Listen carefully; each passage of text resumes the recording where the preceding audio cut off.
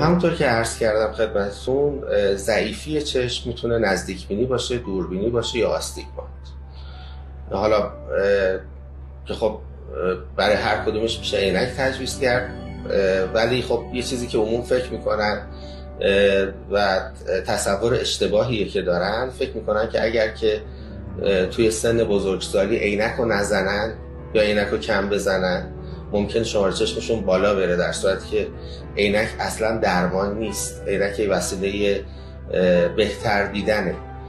ولی توی سنین زیر پنج سال برای شماره های نسبتا بالا یا اگر اختلاف شماره قابل توجهی بین دو چشم وجود داشته باشه توی کودکان اون وقت دیگه عینک درمانی میشه. چون که تو اون سنین می‌تونه تنبلی چشم ایجاد بشه و مغز میاد انتخاب می‌کنه. اون چشمی رو که تصویر نوازهی رو ازش می‌گیره سعی می‌کنه ازش سیگنال کمتری بگیره که بتونه راحتتر کارش رو انجام بده و این برای ما ایجاد مشکل می‌کنه. به همین دلیله که ما اصرار داریم که بچه ها توی سنین زیر پنج سال ترجیحاً حدود سه سال بینایی سنجی بشن و تعیین شماره چشم بشن.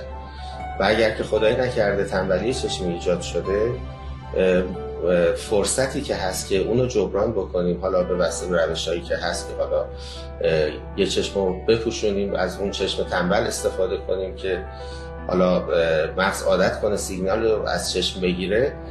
اینو ما بیشتر تا هفت سال بیشتر بخت نداریم. حالا شاید موردهای استثنایی هم باشه که حالا یکی دو سال بعدش هم بتونیم نتیجه بگیریم. ولی عموما زمانی که داریم همون زیر هفت ساله.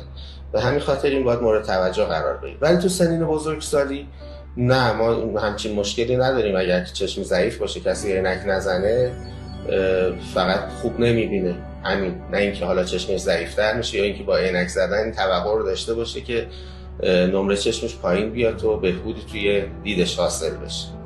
در کل همونطوری که خدمتتون عرض کردم برای رفع عیوب انکساری یا ضعیفی چشم بهترین راه استفاده از عینک. تو این هیچ شکی نیست.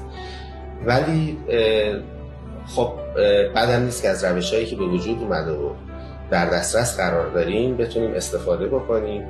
و اگر که همه انتخاب ها علمی انجام بشه اگر که دقت هایی که باید انجام بشه انجام بشه میشه گفت که روش های لیزیکی رفع انکساری یکی از کم خطرترین و بدون آرزترین روش ها هستن. و می‌تونیم ازشون نتیجه قابل توجه و چشمگیری بگیریم و استفاده از عینک کنار بذاریم.